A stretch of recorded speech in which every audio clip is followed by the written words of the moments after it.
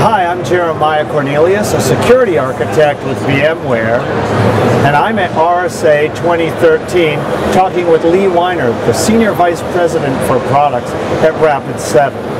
So Lee, I think probably a security audience like we have here today is familiar with Rapid7 leadership and being able to do vulnerability assessment and compliance measurement uh, for software environments. They're probably not aware though of what Rapid7's been doing in partnership with VMware and what that means in terms of delivering value for a software-defined data center. Wonder if you could tell us a little about that.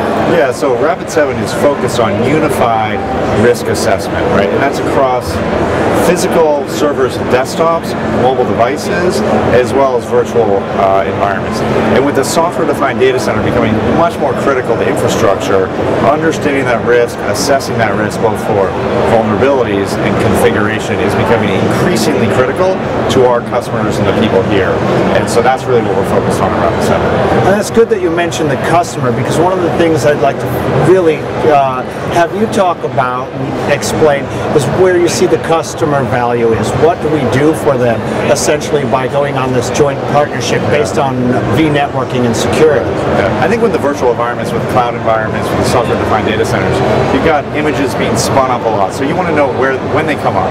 Let me discover those images. Let me discover those virtual assets. And then once that happens, you want to assess them for configuration risk, security misconfiguration, vulnerability risk, applications, operating systems, and provide visibility into the security operations team, the network operations team, and the vAdmins to tell them, hey look, you know what, you probably should mitigate this risk through these steps, these remediation steps to take care of that virtual environment as you would your physical environment, your mobile environment. That's what Rapid7 can do for organizations today.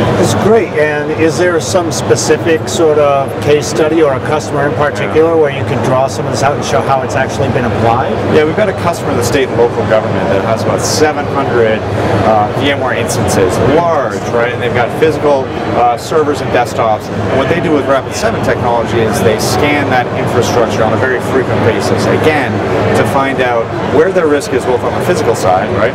And then also where it is on the virtual side in the software-defined data center.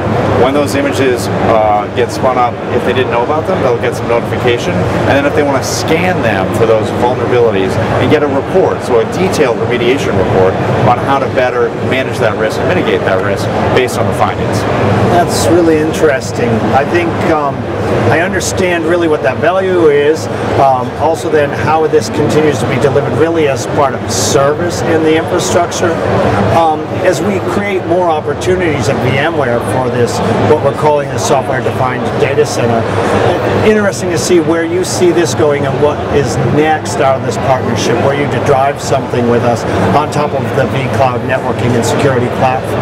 Yeah, so Rapid7 and VMware uh, have a great partnership. And as we look at it going forward, we see a real opportunity to take that output from our uh, vulnerability assessment technology, our Nexpose product, that is scanning that virtual environment, right? Those images, those the uh, content that's in vCenter comes out with configuration uh, vulnerabilities as well as operating system vulnerabilities. That could be then fed into the virtual networking components to better mitigate risk, right? Because as we all know, you can't address all your vulnerabilities. Organizations here know that today, they're dealing with that a lot. But what they could do is they could put compensating controls in, in place based on the known vulnerabilities, right? They can do that at the network layer uh, and the software-defined data center within VMware. And that's where, as we see the relationship going forward, the evolution going forward, we see an opportunity to do So being able to drive config, continuing sort of configuration management Yep.